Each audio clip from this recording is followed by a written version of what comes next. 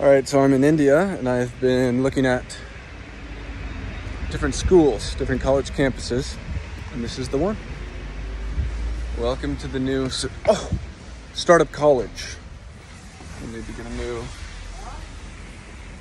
new signage. This was Prudence International School, and it is now the headquarters of Mr. Business.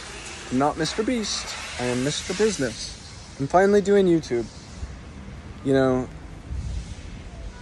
when I took shrooms, I realized that the most power you could ever gain, you know, we all have this urge to like do better in life. And I realized that the biggest best path that you could do is just being like a fucking like angel or whatever, just helping people. That is the greatest power is empowerment of others. And since then, I've had a lot of visions and plans and things that I've started, and I never have enough time to actually devote to them. And so I started thinking about how can I get other people onto this path? And I think it's a much better path. I think there's lots of talks of the failure of our institutions to actually deliver people to these exponential paths. So I thought to myself, well, what if we made a college that was exponential? What if it was based on you building a startup? Not only can I pay you a full salary to go to this college, but I can help you build it because I'll have ownership inside of it. And obviously, doing that in America, paying a full salary, is different than doing that in India, which is why I'm in India. But doing it on a campus is just a vibe. It's just learning, growth. We've got a mess hall over here lots of land, so building like sports area is a definite. And I think it's going to be interesting. I'd like to do a ton of fucking projects to really really shake up the world in a positive way. And fuck man, I just can't believe it's becoming real. It's pretty cool. Like you can really just do shit. You know? I used to be sad, but then I realized I could just do shit. Then I got happy. And that was a while ago. I was depressed when I was like 18, when I was trying to figure out life and shit. And then I did get a little bit more depressed when I just like optimized building. Like I want to do so much good that I'm willing to suffer for good. Some of you might have seen like my basement experiment where I locked myself in the basement of this house I was paying $20,000 a month for. It was an absolute waste to be living in a five foot by five foot concrete box and spending that money. And my judgment call on that was silly. I wanted to do good and I thought extra clout was going to help me do that. But I realized that that is not the right way to do it. Same thing with like, at one point I wanted to do an OnlyFans business. Like, hire a ton of people, help manage the girls, and like that was also short sighted. Glad I didn't end up going with that because it's like, yeah, I wanted to earn that money in order to do more good. That was my mindset, but it's the way you do it, right? You can't use bad karma to get good karma. That's an absolute law. So, lots of learning, lots of growth, lots of vibing. I think of a Venn diagram where one side says impact and the other side says fun. And I realized that the middle of that was storytelling and doing content and just having a fuck ton of fun, being a jester of a vision for the future. Because I do, and if you know me, you know this, I am very much just fucking thinking about where we're going, how can I help? What is what is my purpose, you know? Like I used to think it was a curse to have so much existential dread where I'm like, I'm a meat suit on a fucking rock in a carbon unit and I can just talk to other people and like, what do I do? And then I started looking at that as like something I'm grateful for. I am so grateful to be at a time where my actions can disrupt the course of the future in a positive way. And the disruption in a positive way is purely based on that suffering existing. I couldn't find my light without darkness existing. So that was my way of finding gratitude for it, rather than having this nihilistic view of like, there has to be no God because there's gratuitous evil. I think gratuitous evil doesn't actually exist. Look into the definition of that if you don't know gratuitous evil. You cannot believe in God and gratuitous evil. That is an absolute fact. The very definition of gratuitous evil is not believing in God. And I know I go on a lot of tangents. I didn't plan this video or script any of it. Sort of was just like I should film an update of my life and whipped out my phone. And then I just really want to explain myself.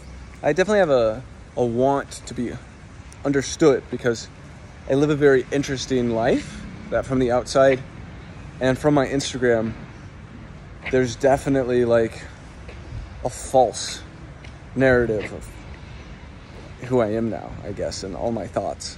And I've failed to update that, and that's fine because I've had to just focus on getting to a place where I felt that that was worth focusing on.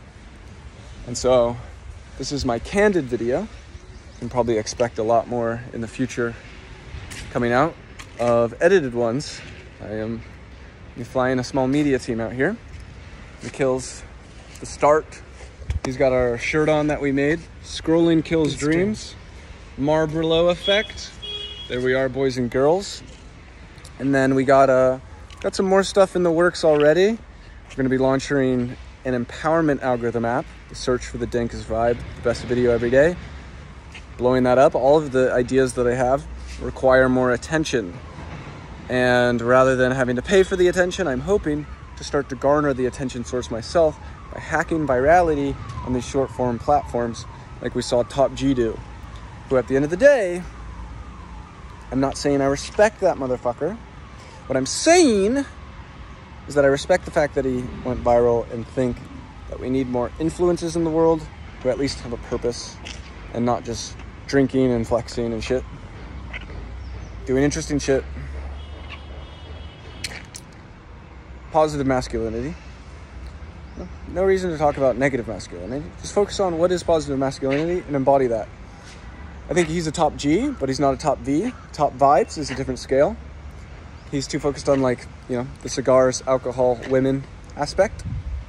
Not top V. We go monk mode out here. I'm thinking about you know, really making this like when you're here, this is you're doing 75 hard it's 365 hard. You know, there's only like 5,555 waking hours in a year.